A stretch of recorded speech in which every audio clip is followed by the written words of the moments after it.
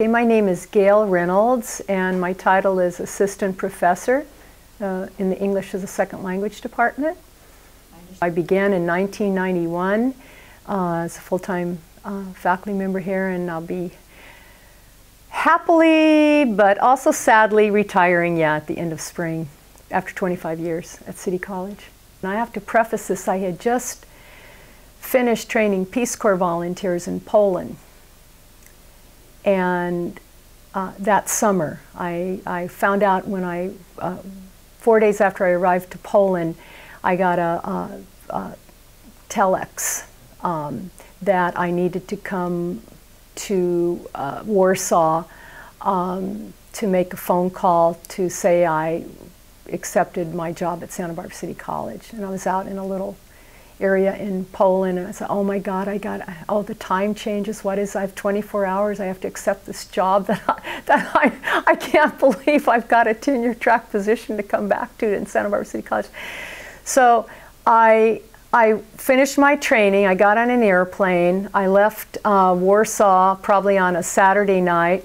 Arrived home in Pasadena, California on a Sunday, and I had to be here Monday morning to start. Um, faculty in service. Dr. MacDougall um, invited each new faculty member to dine with him in the gourmet dining room. I thought, oh my goodness, this is amazing that the college president would put so much energy into um, making a new, newly hired faculty person feel special. My first memories were, gosh, I've died and gone to heaven because I had been an inner city high school teacher in Los Angeles in what they called the combat pay high school um, because we had drive-by shootings and very dangerous area of, of, of LA. I had worked in um, Southeast Asian refugee camps for three years from 1980 to 83. So I always feel like I'm in uh, the United Nations in my classroom, often have like mini United Nations. I don't think a day goes by when I don't run into a former student here in Santa Barbara. I, I must have taught probably, you know, 10 or 20,000 people in my life, um,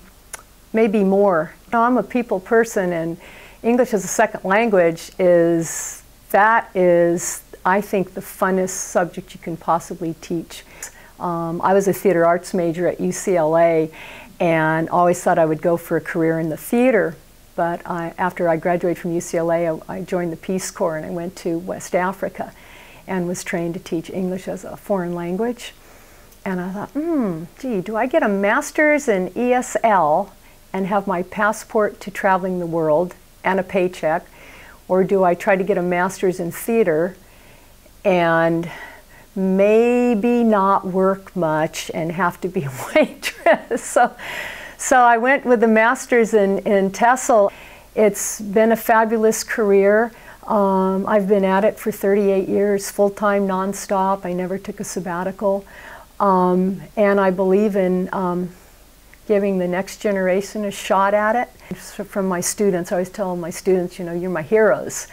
Um, because I don't know that I could have done what, what you could have done, that you could have left a beloved country, you know, to save your family or to try to get some opportunities for your kids that you could not have. And um, so, yeah, legacy. Um, I don't have a legacy really, but boy, I have a great appreciation for my 25 years at Santa Barbara City College. I feel like I began my time at City College in a great era and I'm, I'm ending my career here in a, in, a, in a wonderful era. And I guess lastly, I'm real hopeful with the younger generation. Um, seeing all the changes on our campus, we've really gone green, which is wonderful.